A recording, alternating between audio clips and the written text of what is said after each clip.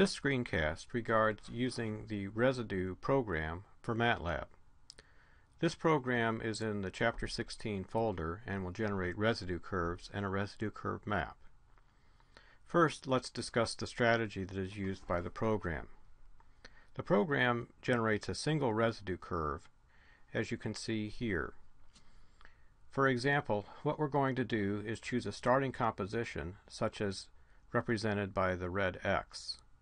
From that initial red X, we are going to generate a curve, first going towards the highest boiling point, or the terminus of the region. Now we typically don't know where this is, but the program will step us towards the terminus first. Then, after we determine that we're near one of the edges of the diagram, we return to X start again, with the red X, and then we start to step actually backwards towards the origin, seeking the origin of the region. Alright, so let's look at the code. I've got the software distribution in CHE Thermo. I'll go to MATLAB and then Chapter 16. And let's open Residue. You can see that Residue requires no inputs and returns a vector xstore which will have the compositions of the residue curve. You can see here comments about how we need a new x, x start for each curve. All the parameters for residue are entered within the code, and therefore to change anything, including the value of x start, you do need to edit the code. Since the calculations are done using bubble temperatures at a fixed pressure, we need vapor pressures. These are the ID numbers from the Antoine table for benzene, ethanol, and methanol. Always check to make sure that the ID numbers are correct for the components in the event that the Antoine table is updated. Here is where the value of x start is specified, and then it is normalized in the event that the compositions don't sum to 1. The program is distributed using the Uniquac method. And here you can see the parameters for benzene, ethanol, and methanol taken from the literature. Here is the AIJ matrix. We check to make sure that the number of components is 3. We look up the Antoine constants. We echo the names to assure that we're working with the right system. We save the value of x start as the starting point for x. Then we specify the step size to take. This step size generates reasonable curves. We specify an initial guess for temperature, as well as the pressure at which to generate the residue curves. We set up vectors to store our results for composition and for temperature. We then enter the loop to calculate upwards at higher temperatures. We append the current value of x to x store. We perform a bubble temperature calculation, and I'll show you that next. And then once the bubble temperature is found, we save that also. We then increment the value of x. We loop back and repeat the calculations towards the terminus.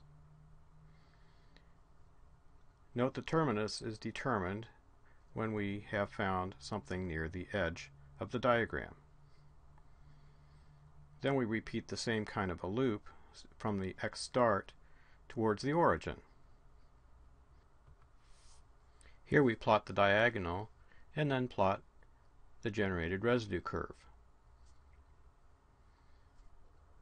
we append the temperatures to the stored values of x for convenience of output. The routine that generates the bubble temperature is here. The condition for a bubble temperature is that the y's must sum to 1. To generate the y's, we start with a, a guess for the temperature, we calculate the vapor pressures, We then need to calculate the activity coefficients if they depend on temperature, and for Uniquac they do. Then we calculate the k ratios and the y values from the x's. Alright, let's see how the program runs. First, I'll dock the code.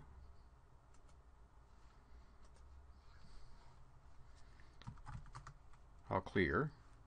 And then because there are no inputs, I can simply click Run. And you can see it's generated the residue curve. And now I've indicated benzene as component 1 and ethanol as component 2. And so if you like to have certain components on the axes, then choose those coordinates as the first two coordinates. The value of x start which was used was 0.3 and 0.6 which would be a point about here and so you can see the curve that was generated goes through that point. To generate another curve let's generate one that's about at 0.15 and goes through 0.45. Leave this figure open.